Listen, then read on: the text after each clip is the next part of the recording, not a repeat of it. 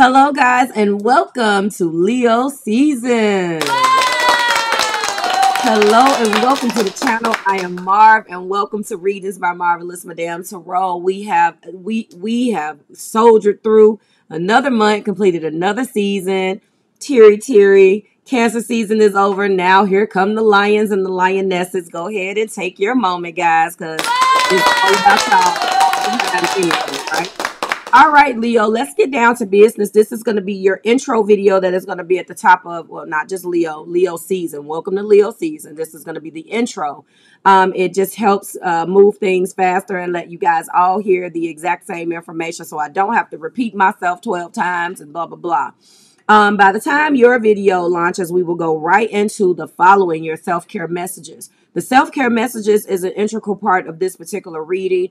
I like to let you, the zodiac sign, know how you're feeling and what you need to do for your own self care in that particular season. I then go into a comparison from Cancer season, in this case, the previous season, into this season to see how they compare in that comparison, sometimes we find out some interesting situ- uh, some interesting information. One, are you getting the same energy? If you are, you're kind of standing in your own way. We highlight that and I read you the message and let you know how I feel. B, are you crossing with any other zodiac signs? Was there a zodiac sign last in the in the last season that got the same message that you're getting this month? Um, and and who are they? I'll let you know who they are. Um, how significant are they to your message for this particular month? How significant are they to your self-care guys? Um, also um, it's interesting to see where you are overall. That's option c. Sometimes um, it's interesting just to kind of see what energy is moving in and out. We get so caught up in everybody else and their impression of us and this, that, and the third. The self care messages are designed for me to bring awareness to what we need to deal with individually, in addition to all of these other things that we have going on. And sometimes when you just cross with that that other individual, that other entity, um, that other zodiac sign, a lot of the times, guys, that means that three three things. Sometimes you're dealing with that zodiac sign individually, and it, it is a person, it is an actual individual. Sometimes you have it in your chart. Um, I tell you guys if you are if I say that you're crossing with a zodiac and, and that person does and that energy does not represent a person, do you have it in your chart? Is it in your big three? Where is it and why is it wreaking havoc for you? Um, go and take a look at your specific chart to see why you know that why that energy is there. Do you have that as a uh, prominent energy in your birth chart? Is it in your big three? Is it in your outer planets? Where is it? And then finally, is this a message that spirit is saying that you know maybe you need to embody some of the characteristics of that zodiac sign? Maybe that's what you need to do. Either way, we break that down. Um, in addition to the self care messages for this, their feelings for you, we break down five specific categories, and I'll let you know, you know, how they viewing you, what they, you know, those type of things.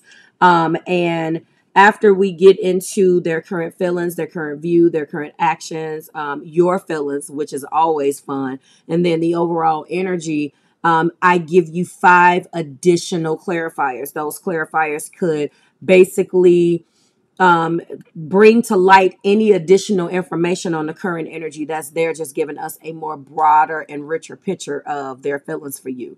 So, again, in closing, I hope that this Leo season finds you well and in good spirits. I am go- going to also sneak in your five card guidance. Um, I typically try to debut that around the first of the of the, like when the actual month changes from. So we're still in July, so you should expect to see that five card guidance in August. Um, and the reason why that's important is because I want those to be like for the month of August as well as the season. Um, but I'm going to still associate it with the season um, and just kind of let you know where you are. If they come early, that's fine.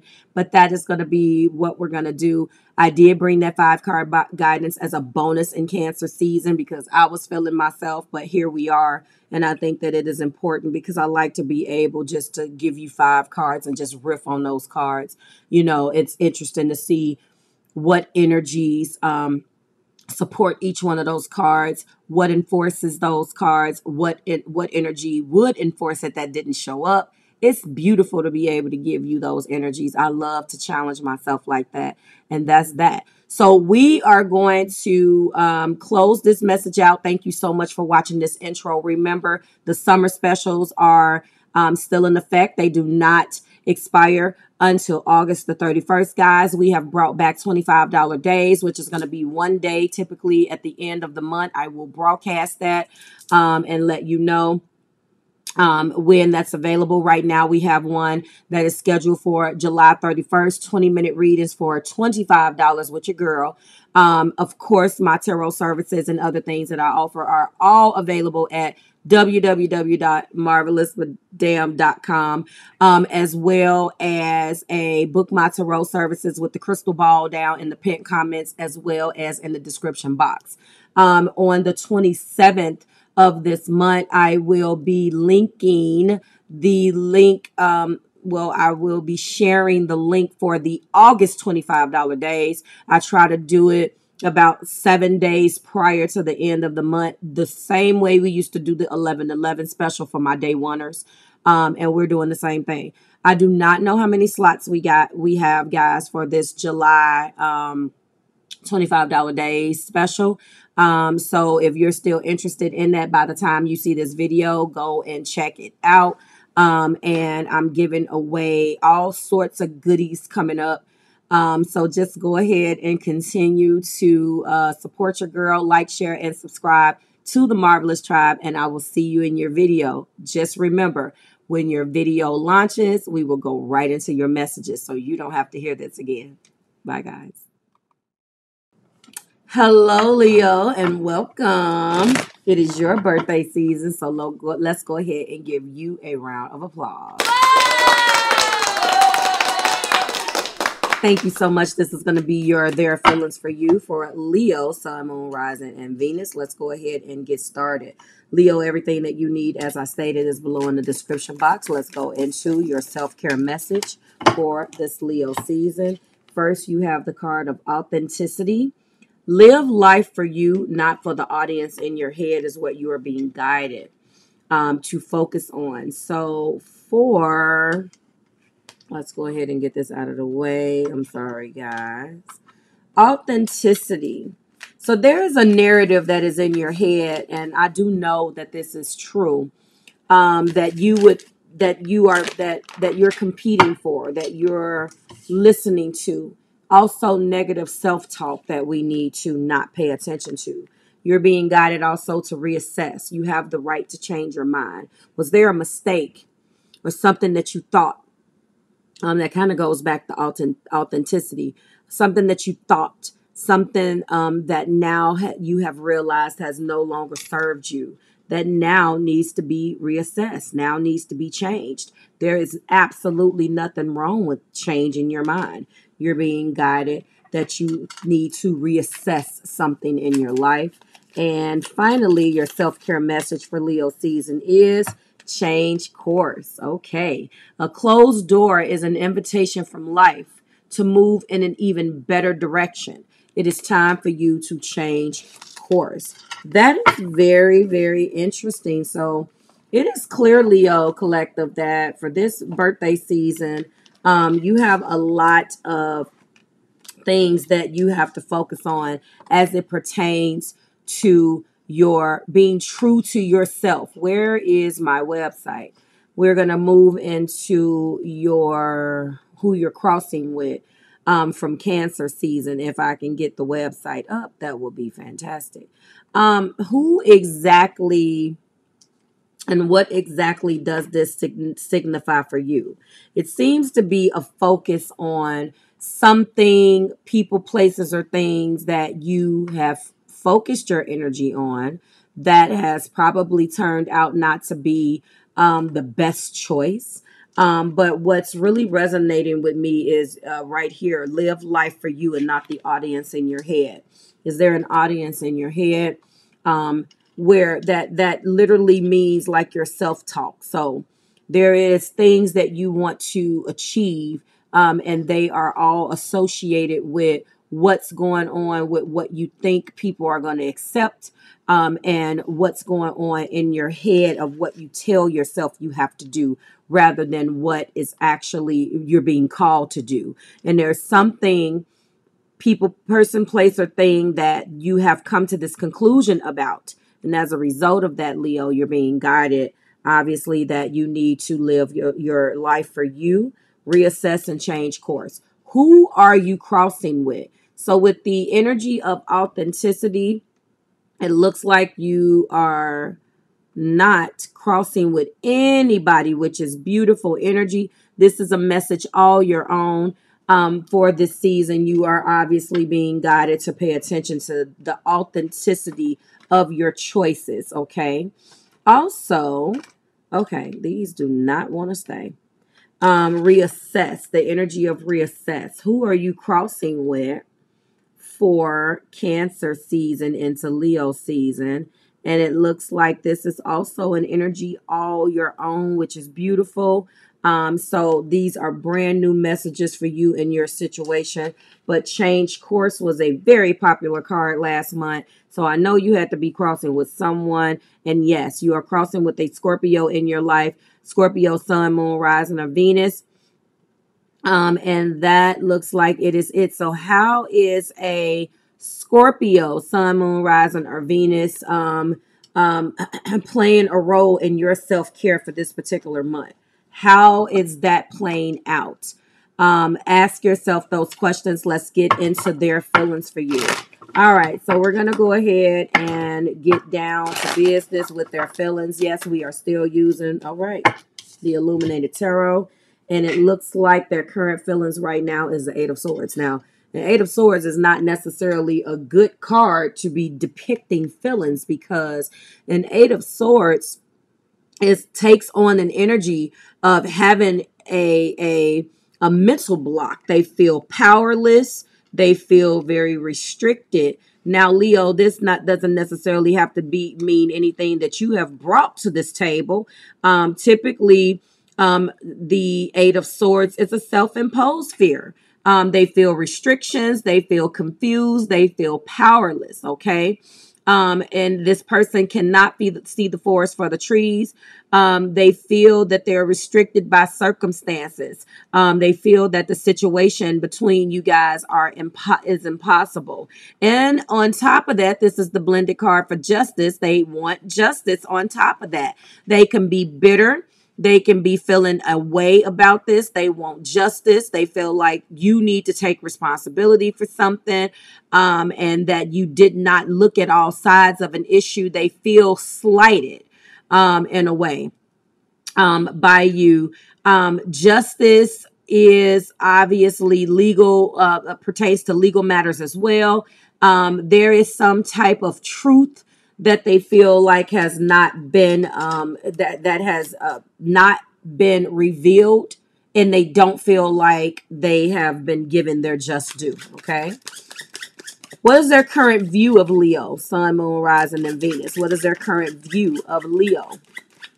What is the view here? How do they view leo? Ha ha that explains it. Well they're viewing you as their queen of cups or their or their king of cups change it as it resonates.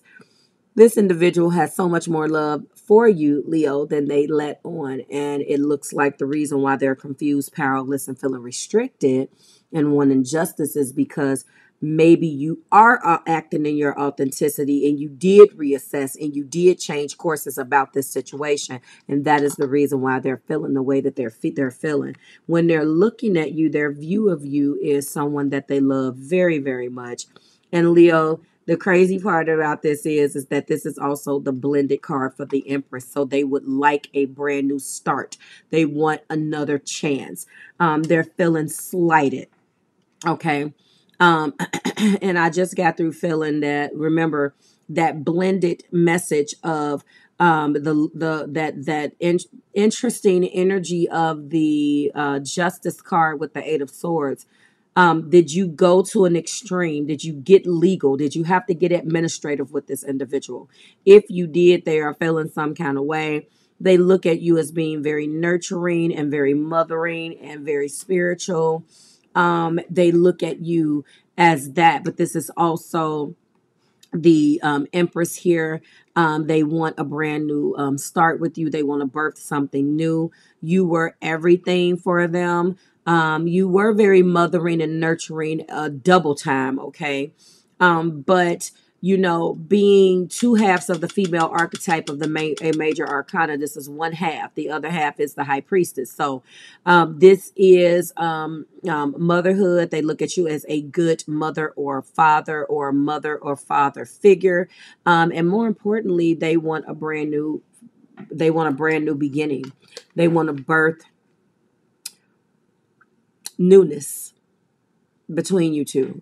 Um, they want to experience the census with you.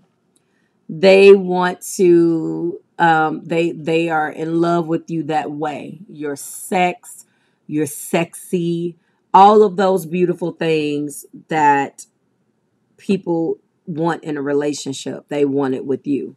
Things got complicated and took a very complicated turn. What are their current actions? Ha, that came right out. The lovers.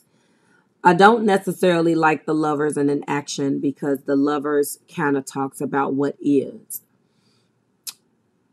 And if you look at the energy of the lover's card, the action that they want to take, okay, and their current actions indicate that they are very much so possibly reaching out to you to maybe guilt you back into a relationship with them. This is they want to feel love. They want to form a bond. They want to be sexual, like I said. Um, this is also struggling with temptation, and that's why I don't like this. Um, what reinforces this, uh, these two cards together, which is the lovers and the empress, is sexual fulfillment. So I know that they definitely miss being intimate with you. They want it back, period. Okay, Leo? Wow. Um, that reinforces that um, to the max. Okay. This is this is love and sex. This is um, um, the the bond between man and woman, two women, two men, whatever your bag is. That is what this is about. Um, a relationship that is based upon deep love, the strongest force of all. Um, it's definitely sexual, though. I have to bring that out. Um, and because we it what reinforces this energy obviously is definitely the lovers. I also have to talk about the fact that um, this could also mean a moral or ethical crossroads when it comes down to struggling with temptation um, and um, or refusing to look at the right or wrong or of a situation. Someone is highly sexual. Um, and definitely that's what they want. Um, that's not all they want because this lovers is a deep spiritual connection as well but they want to what i don't like about the fact that they are feeling this strongly leo but they are confused and because they feel powerless. It's almost as if and i use the word exploit because i felt that a person that is feeling this deeply but is leading their their leading energy is an eight of swords is not going to understand how they're coming off. And they may stoop to tactics that may be not so nice because they can only see what they want. This person is not necessarily thinking rationally right now. They don't want to feel powerless. They go they're going to go out of their way to feel that that they are in control, which unfortunately could lead to exploitation and manipulation, okay? All right. What does Leo feel about this? What does Leo feel about this? Okay. Well, that explains it. So, Leo, it's obvious that you love them back. Um, you guys have been in um, very, very, a very tough situation. You are the more emotional, mature out of the two of you. So you could be in an energy where you're like, listen, I'm, I'm okay with this your current feelings, you feel powerless, you feel, um, um, you know, uh, helpless and restricted. Um, your, your current view of me is an empress. And if you notice, their view of you is the female counterpart of how you feel for them. So I know that you guys have been together or are together, but you've been through other things that has made this love way more complicated. So you're viewing each other, they're viewing you how you feel. Okay. And what's interesting about this King of Cups it, eh, that you feel is that you're telling this person, I, th- I feel like there are stipulations, Leo. I feel like there are like, listen, I love you. I feel the exact same way and I miss you too. However, we got to work on this. We have to work on the fact that you feel powerless and restricted. You want to control things when you should just be able to let express your love openly. And that you're teaching them, Leo, you are. But at what cost? I'm feeling an exhaustion with you. I'm feeling that they're you they're coming in and their current feelings being confused. They look at you higher and hold you on the higher. That's why I kept saying nurturing. But you also are teaching them as well. You're more emotionally um, uh, mature than they are. And this looks like it, you're bringing in um, a very um, um, a realistic and adult view of things. Okay, let's flip this over and find out what the overall energy is. And yes, the overall energy is the Ten of Swords. There has been a lot, and I felt it a lot of energy between you guys. There has been a lot um, of victimization. Um, the, the first of all, this is the Ten of Swords. There has been a lot of betrayal, a lot of swords. Okay. The overall energy between the both of you is just, you know, you're feeling like a victim, feeling powerless. You both feel that way. Both of you guys feel like you're you're letting you let the other go first. Both of you guys feel like there has been self uh, sacrificing.